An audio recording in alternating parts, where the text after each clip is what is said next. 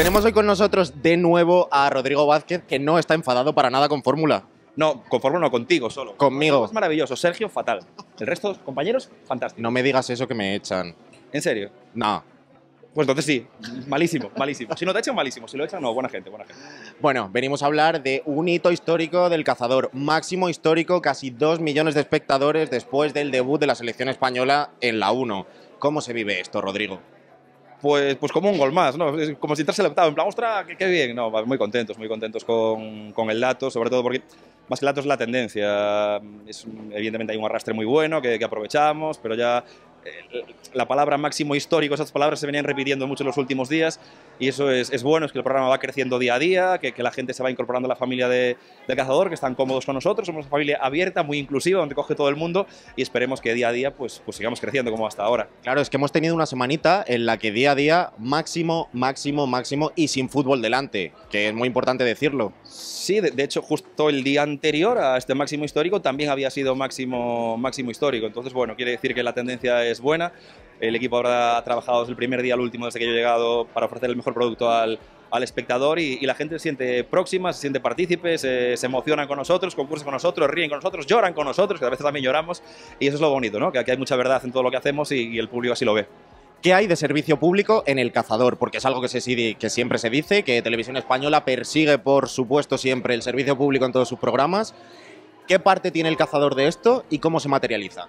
Pues yo creo que el servicio público es el corazón no solo del cazador, sino de toda la programación en la, televisión pública. Ofrecerle entretenimiento de, calidad a una audiencia amplia, de todos los estilos, de donde procedan, de todos los gustos, y, para ellos vamos, para que todo el mundo se sienta partícipe y, reflejado. Y, a mí es precisamente lo que más me gusta, ¿no? que muchas veces aprendes con los cazadores y también con los concursantes, gente que te cuentan su historia, adolescentes que en su día sufrieron bullying por, por ser trans, por ejemplo, o gente que está luchando contra el Alzheimer y se atreven a concursar, o, mm, personas con capacidades diferentes y, todos dejan su pozo en el, en el, programa, todos aprendemos con ellos y yo creo que, también lo que demostramos o lo que intentamos demostrar es que se puede hacer una televisión pública de calidad, se puede formar, se puede entretener, se puede divulgar y hacerlo en clave de televisión pública y sobre todo pues con el éxito también en, las cifras, con la audiencia que nos apoya, que está ahí, cosa que le agradecemos sobre todo a ellos.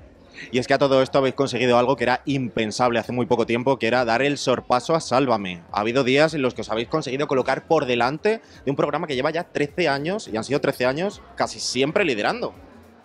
Sí, bueno, pero esto ya sabes que cambia mucho de un día para otro, de una semana para otra. Hoy estás aquí, mañana estás allá, y yo creo que lo importante son, son las tendencias. Creo que hay público para todos, oferta para todo el mundo, y nosotros lo que intentamos es eso, pues ir haciendo cada día un poquito más amplia nuestra, nuestra familia, que la gente se sienta cómoda y cuando estén sentados en el sofá de casa se sientan como uno más de la familia de, del cazador y, y, vamos a lo nuestro, seguimos ahí en esa, en esa línea y ojalá que sigamos mucho tiempo. Y es que hablando de familia, eh, Televisión Española te quiere, te quiere mucho, llegas a Benidorm, presentador del Benidorm Fest.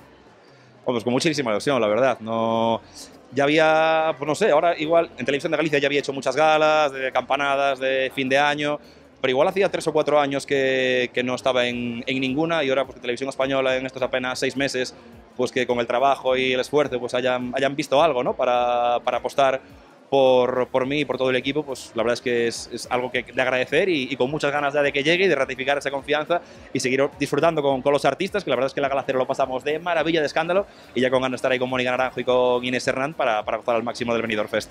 Pues nada, vamos a cerrar con un vaticinio que hagas para Benidorm algo que tú creas que va a pasar, algo que te gustaría que pasase. Algo que me gustaría que pasase. ¿Qué te gustaría que pasase en Benidorm?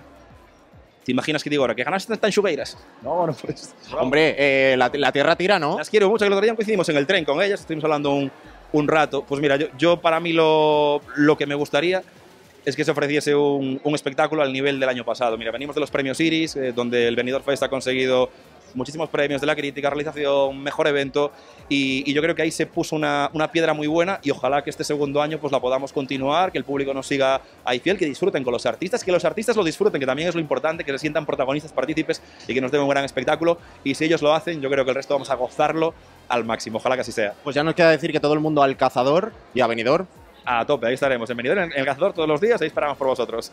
Pues muchas gracias, Rodrigo. A ti, Sergio, que vaya bien. No lo echéis, que es buena gente. A veces, pero bueno.